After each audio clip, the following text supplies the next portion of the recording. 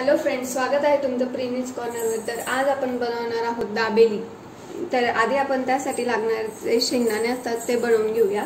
तर इथं वाटीभर शेंगदाणे भाजून आणि पांढरे करून घेतलेले आहेत. आणि इथे एक चमचा लाल तिखट अर्धा चमचा आमचूर पावडर अर्धा चमचा मसाला आणि चवीनुसार मीठ घेतलेलं आहे. आणि इथे कढईत दोन मोठे चमचे तेल गरम करायला ठेवलेले आहे. तर आता आपलं तेल गरम झालेलं आहे. तर त्यात आपल्याला शेंगदाणे टाकायचे आहेत. फ्लेम फुल करायची आहे. मग त्यावर आपल्याला हे मसाले टाकायचे आहेत.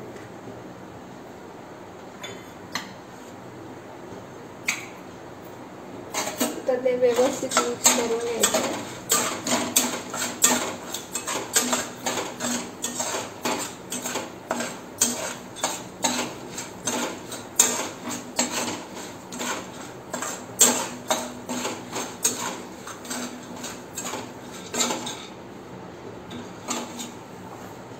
आपल्याला त्यावर थोडा दाबेली मसाला टाकायचा.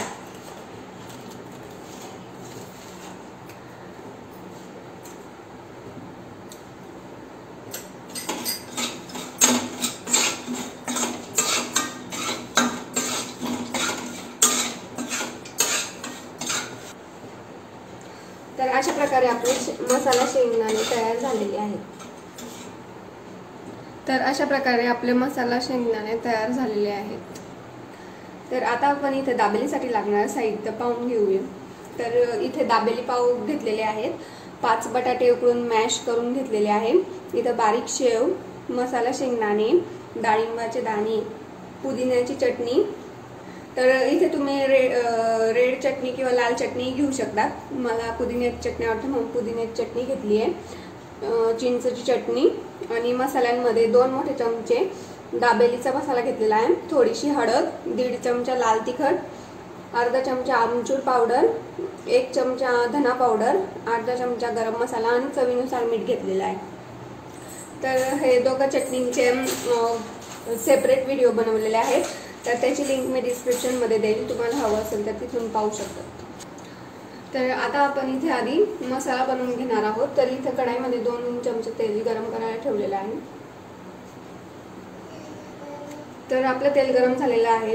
तर फ्लेम लो केलेली आहे. तर आधी आपल्याला त्यात बटाट टाकायचे आहे.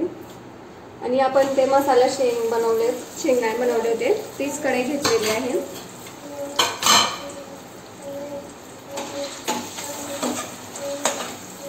यावर आपल्याला हे सर्व मसाले टाकायचे आहे. तर हे व्यवस्थित मिक्स करायचे आहे.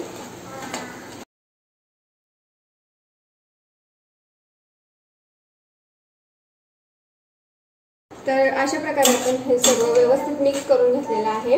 आणि यात आपल्याला थोडं पाणी टाकायचं आहे. दाबेलीची जी भाजी असते ती थोडी ओलसर असते. त्यासाठी थोडं पाणी टाकायचं आहे. मिक्स तर अशा प्रकारे आपला मसाला तयार झालेला आहे. तर आता आपण स्ट्रीट साईडला जसं सर्व करतो तसं सर्व करून घेणार आहोत. तर इथं जो मसाला होता तो काढून घेतलेला आहे. त्यावर आपल्याला थोडं दा- डाळिंबाचे दाणे टाकायचे आहेत.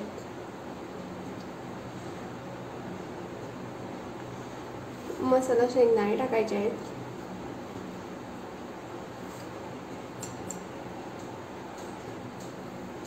थोडी शेव टाकायची आहे.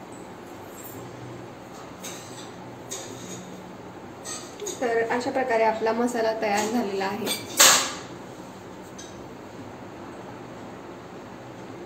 तर आता आपण दाबेली बनवणार आहोत.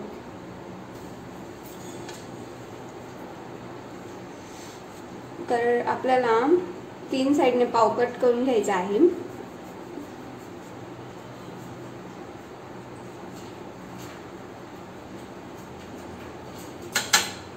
अशा प्रकारे आपल्याला पाव कट करायचा आहे. तर आता आपल्याला आधी कट कर. तर आधी आपल्याला ग्रीन चटणी लावायची आहे खालच्या भागाला. वरच्या भागाला आपल्याला चिंचेची चटणी लावायची.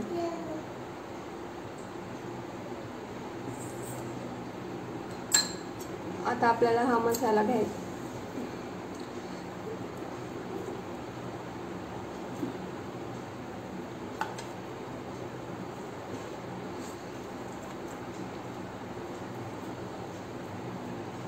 तुम्ही तुमच्यानुसार मसाला टाकू शकतात. कमी जास्त तुम्हाला हवं असेल तसं.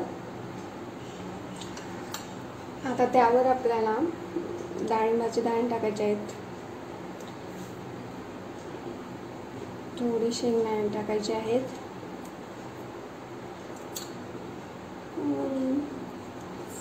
त्याला असं प्रेस करायचं आहे.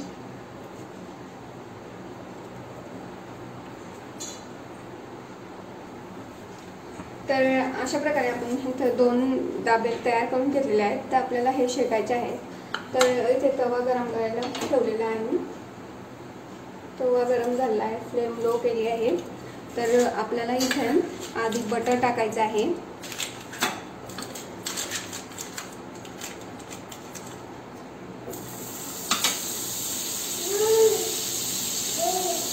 बटरला असं सर्वीकडे पसरवायचं आहे.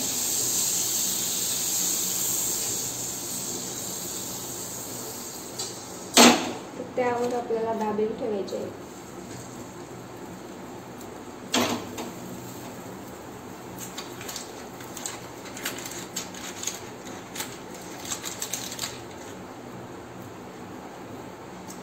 आता आपल्याला वरतून पण बटर लावून घ्यायचं आहे.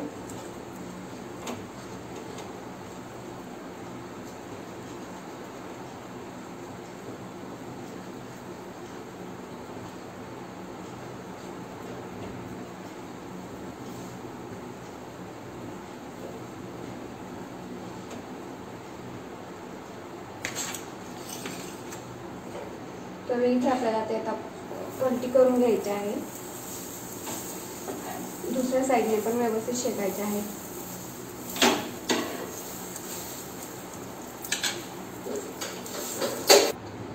तर अशा प्रकारे आपण आपली दाबेली शेकून घेतलेल्या आहेत तर ते आपण काढून घेऊ.